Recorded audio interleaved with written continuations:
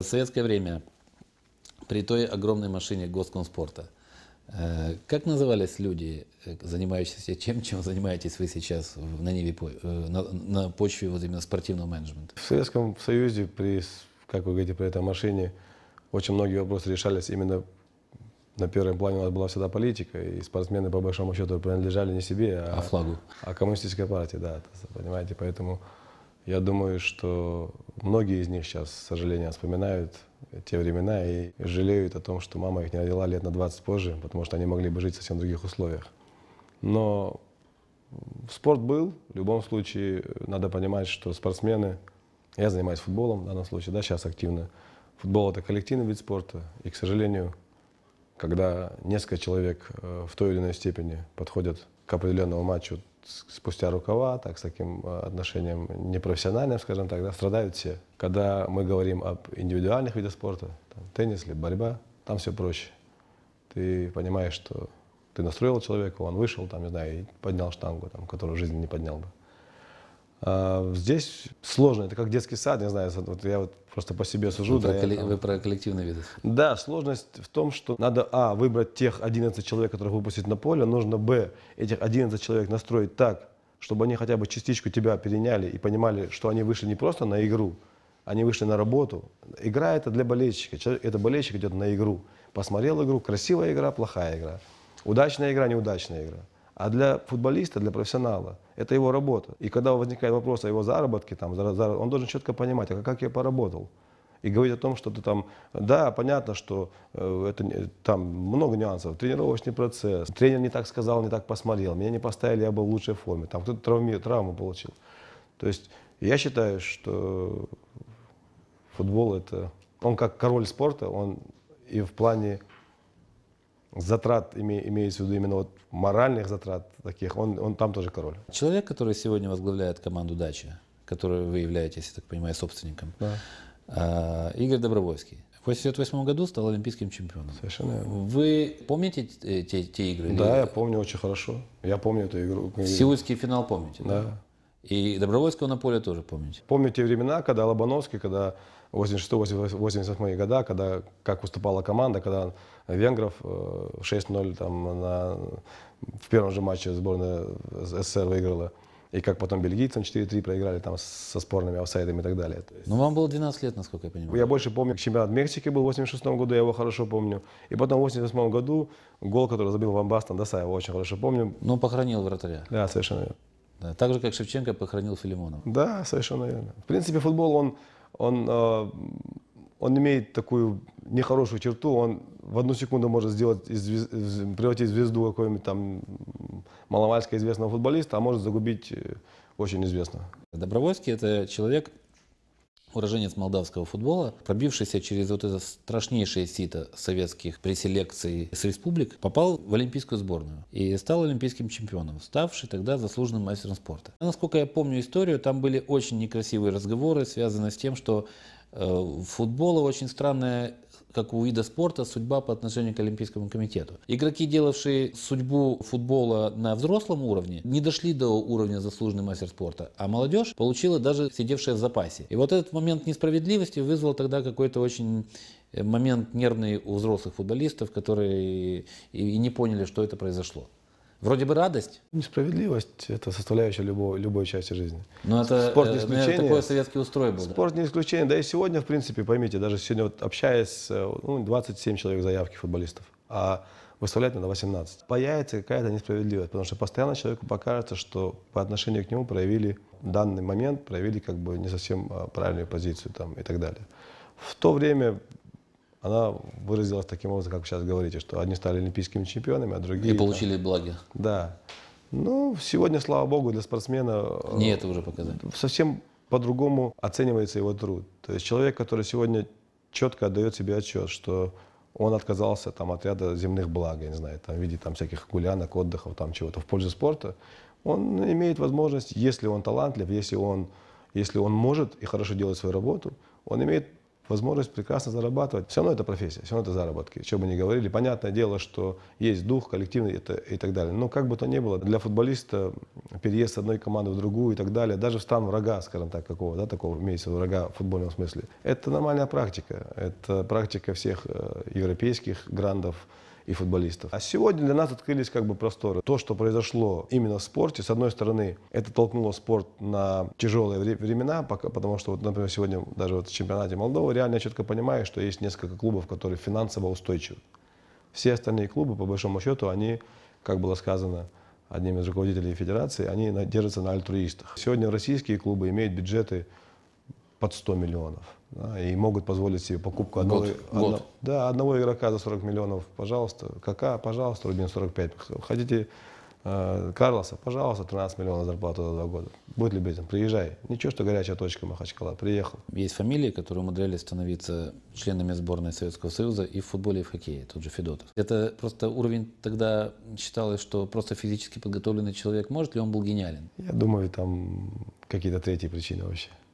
Возможно, нет, по-любому однозначно надо было иметь, э, быть физически подкованным, да, иметь возможность, э, чтобы выступать и там, и там. Но я думаю, я не могу утверждать точно, мое личное мнение, я считаю, что при современном развитии спорта, в том числе и футбола, это, это просто невозможно, это нереально. Нонсенс. Да, ну, может, тогда играли так в футбол, я не знаю, что это было возможно перескочить оттуда сюда. Сегодня даже когда люди, когда в теннис играют, там большой теннис запрещается брать маленькую ракетку и наоборот. То есть все, все настолько далеко ушло, что те мелочи, которые вчера, возможно, не особо сильно влияли на итог, на результат, а футбол и любой спорт, он выражается результатом. Но есть исключения, знаете, вот э, есть такой вид спорта, как бобслей, так там четвертый номер может быть хорошим толкателем ядра. Может быть. Потому что его функция толкать. Там надо очень взрываться и толкать. Игорь Добровольский, ваш тренер клуба «Дача», который на сегодняшний день неплохо идет в чемпионате. Естественно, вы поставили перед командой, селекцируя э, тот Э, набор футболистов, игроков, менеджеров, тренеров э, на этот сезон, ставили задачу первого места. Да, Потому что иначе вы в это дело бы даже не играли, учитывая, что амбициозность зашкаливает. Либо были бы другие футболисты, либо я не играл бы вообще. Ставка на легендарного Добровольского только уже как тренера. Во-первых, то, что э, Добровольский легендарный как игрок, не отрицают даже наши оппоненты. Да, они как бы все признают. Но многие говорят, что легендарный игрок не означает не легендарный тренер. тренер. Совершенно верно.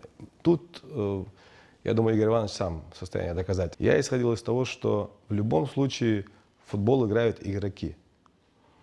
И как игрок, как легендарный игрок, он может дать то, чего не даст никакой другой тренер. Ведь э, если посмотреть на ситуацию, тот же самый, по-моему, Маурини вообще ничего не играл. Пошел, стал легендарным тренером, а футбол не играл. Ну и они между собой там часто бывают ругаются, там и говорят, да, что мне его объяснять, он даже футбол не играл. Жизнь показывает, что не надо чем-то заниматься, чтобы потом э, в этом чем-то оказаться, во всяком случае, в спорте, да, как будучи тренером.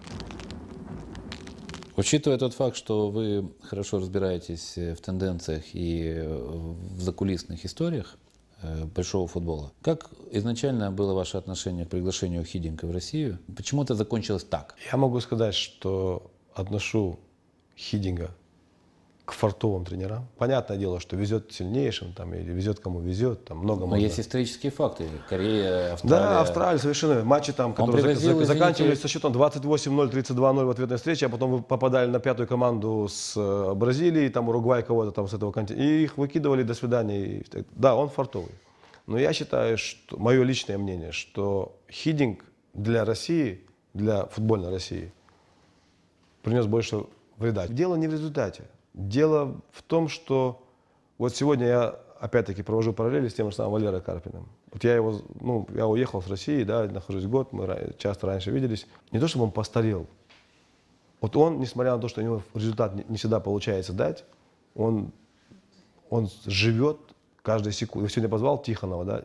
Ну что, Андрей Тихонов пришел, это просто как сказать, это как бы бренд Спартака. Это то, что должно заставить людей... Это знамя Спартака. Да, как бы подстегнуть какую-то вот именно вот ту, ту, ту долю патриотизма, который человек должен выходить. Понятное дело, что футболки меняются, интересы меняются, зарплаты меняются. Но есть что-то, что остается всегда в душе у каждого человека. Тихонов именно такой человек. И я считаю, что Хидинг именно тот специалист, который не сопер... ну, как бы он сделал профессионально работу, без сопереживаний. Сегодня очень сложно будет заставить футболистов сборной России выйти на поле И вот э, они и раньше, честно говоря, по большому счету, если так вот честно говорить, в советские времена был страх перед партией, там, вернуться домой, и там тебе там, не знаю, что с тобой сделают. Ты знаешь, вот удивительно, но это действенная мера. Страх еще никто не отменял. Она на самом деле, как, как бы это жестко ни звучало, она, она имеет э, в некоторых случаях позитивное выражение. Она, она дает результат. Мое личное убеждение, что российский футбол реально сборную России может поднять человек только лишь из России.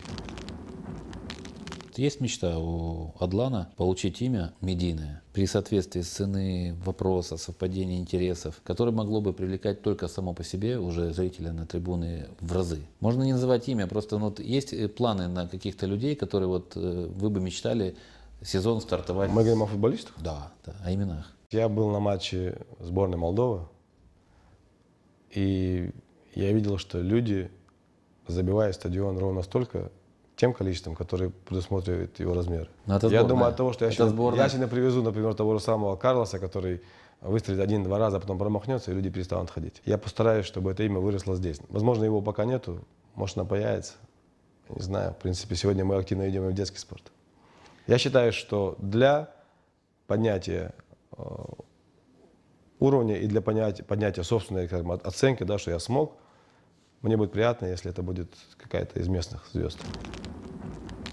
Есть такая традиция, минута один на один с камерой, э, без, э, без автора программы. Я сейчас тут прощаюсь и жду за пределами студии, но предельно искренне рад, что у нас э, случилась эта встреча в рамках этой студии, и думаю, что нас жизнь будет еще не раз эм, объединять, потому что на многие вопросы, наверное, мы смотрим одинаково.